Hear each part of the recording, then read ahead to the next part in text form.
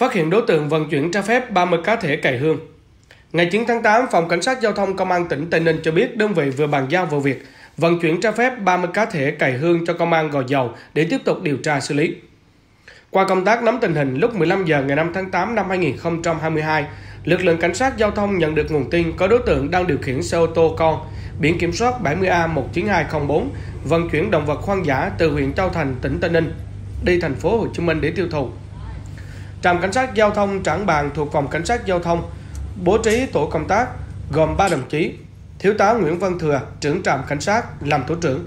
Trung tá Trần Quốc Bảo và Thiếu tá Phạm Văn Tuân, cán bộ cảnh sát giao thông tiến hành chốt chặn trên tuyến quốc lộ 22B thuộc ấp Cẩm An, xã Cẩm Giang, huyện Gò Dầu. Đến 15 giờ 15 phút cùng ngày thì phát hiện xe ô tô trên, tổ công tác tiến hành dừng phương tiện kiểm tra. Qua kiểm tra, người điều khiển xe tên Phạm Nhật Linh, sinh năm 1996, ngụ tại ấp Xóm Ruộng, xã Trí Bình, huyện Châu Thành, tỉnh Tây Ninh. Tiếp tục kiểm tra xe phát hiện trên xe đang chở 30 cá thể cày hương. Tổ công tác tiến hành bàn giao cho đội cảnh sát kinh tế công an huyện Gò Dầu tiếp tục điều tra làm rõ theo quy định của pháp luật.